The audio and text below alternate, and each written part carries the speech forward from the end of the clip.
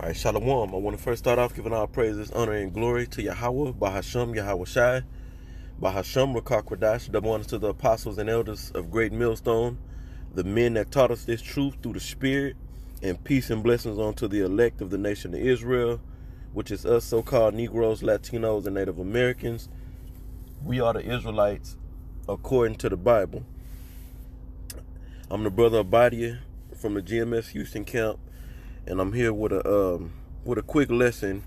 This is gonna be just uh, more to add to the spirit, or another lesson done to add to the spirit that uh, John the Baptist indeed was in the truth.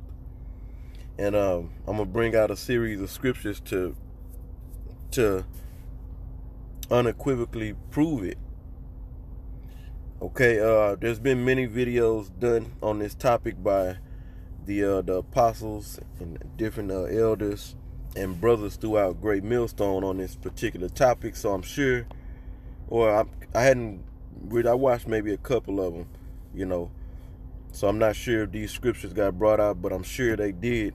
Most likely get brought out in the various lessons that was done. So, um, like I said, this is just to add and also not only to add but to push out the energy that John the Baptist was in the truth and that he's a very important man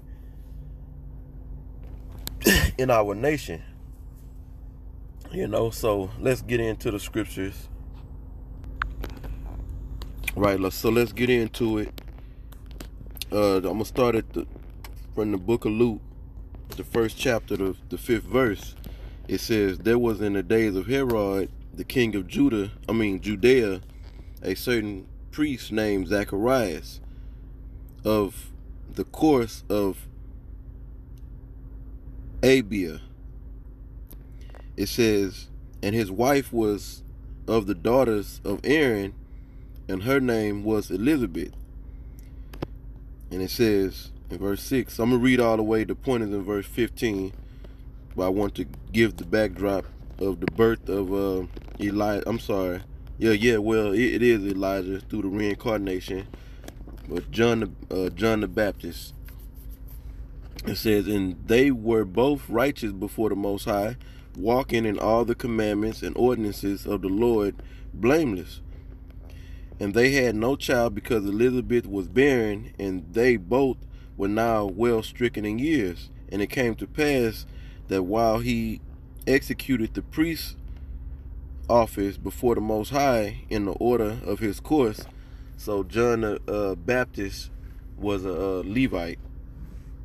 Okay, as we see his father was a, a Levite.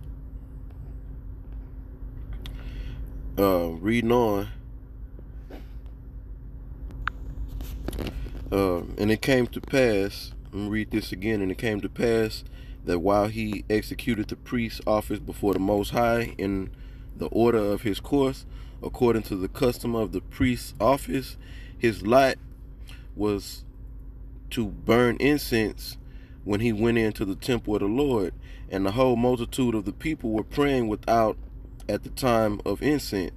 And there appeared unto him an angel of the Lord standing on the right side of the altar of incense. And when Zacharias saw him, he was troubled, and fear fell upon him. But the angel said unto him, Fear not, Zacharias, for thy prayer is heard, and thy wife Elizabeth shall bear thee a son, and thou shalt call his name John. And thou shalt have joy and gladness, and many shall rejoice at his birth. Uh, Was letting you know this is not no regular or average Israelite that's about to be born, you know leading is is is preparing your mind let you know as you read this is about to be somebody great you know? So let's read on. This is the uh the point. The focal uh verse. It says for he shall be great in the sight of the lord.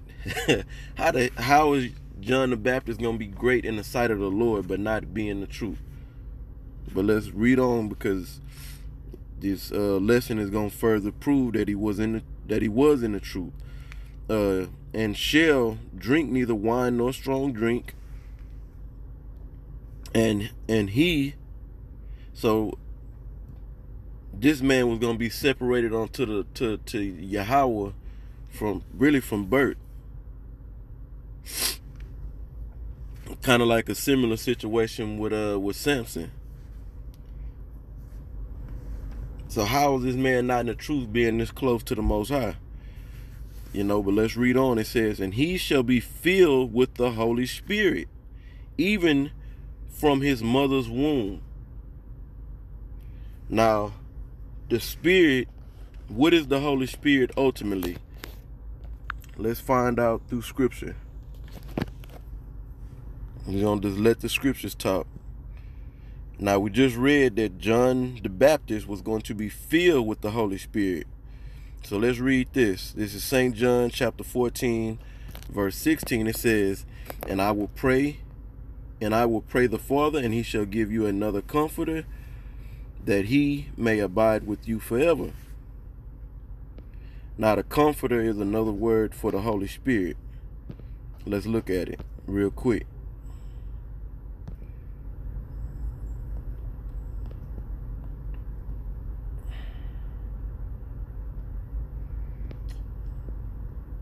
Let's see uh right.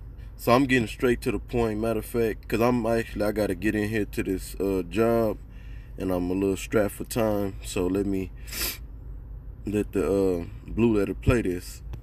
Strong's g 3875 parakletos parakletos i'm jumping straight to it it says right here down if we read it says of the holy spirit destined to take the place of it says christ with the uh, apostles.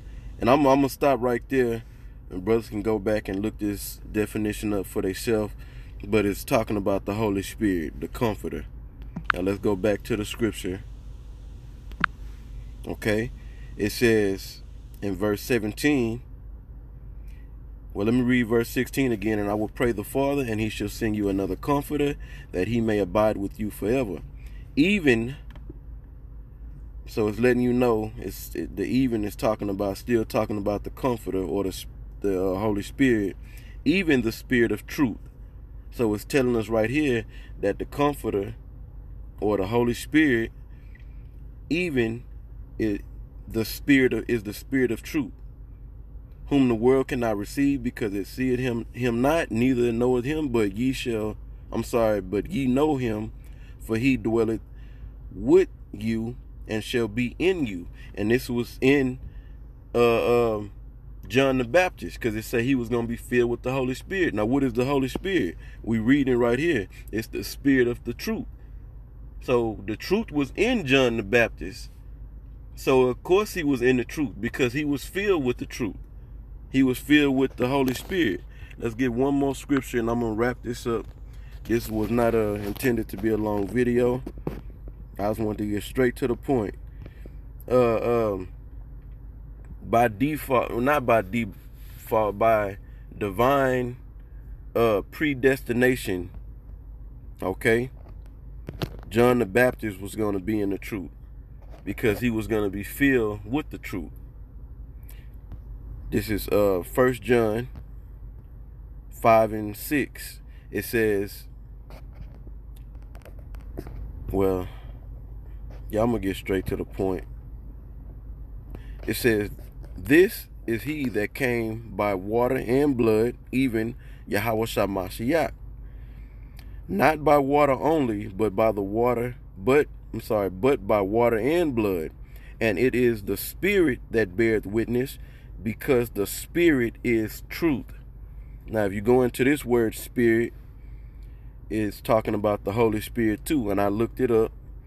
And what I'm gonna do is I'll um, you know, brothers, if if you happen to watch this, anybody happen to watch this video, you can look up the word for yourself. And uh, it's going to tell you that this is talking about the Holy Spirit. So John, if we go back to um, John the Baptist, if we go back to Luke 1 and 15, it said he was going to be great in the sight of the Most High. He was going to be separated unto the Most High, uh, and he was going to be um, filled with the Holy Spirit. So, and the Holy Spirit is the spirit of truth. So John the Baptist definitely was in the truth because the truth was in him. So of course he was in the truth. So with that, uh, Lord willing, this lesson was edifying and exhorting onto the Spirit. And once again, I want to give all praises, honor, and glory to Yahweh, Bahasham Yahweh Shai, Bahasham Rakakwadash. Double honor to the apostles and elders of Great Millstone, the men that taught us this truth through the Spirit. And peace and blessings unto the elect of the nation of Israel. Shalom.